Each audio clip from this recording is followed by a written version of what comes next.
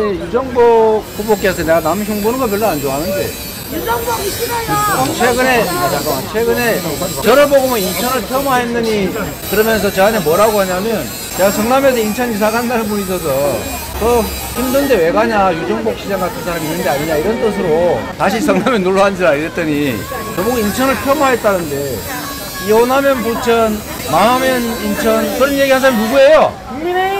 국민의힘이 됐죠. 네. 자기가 그래놓고는 제가 유정복 후보가 당시에 시정 만족도가 막 꼴찌였잖아요. 네. 끝이 끝.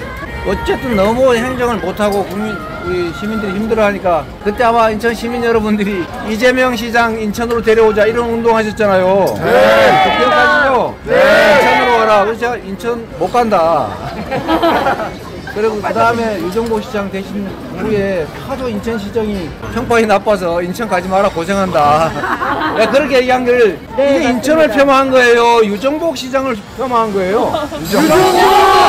그렇잖아요. 네, 이런 걸 명백한 사실을 뒤집어 가지고 자꾸 덮어 씌우고 자기들이 도둑질 하다가 걸려놓고는 도둑질 막다가 약간 먼지 묻었다고 거기다가 이- 오히려 도둑놈이라고 덮어 씌우고 이게 국민의힘 맞죠?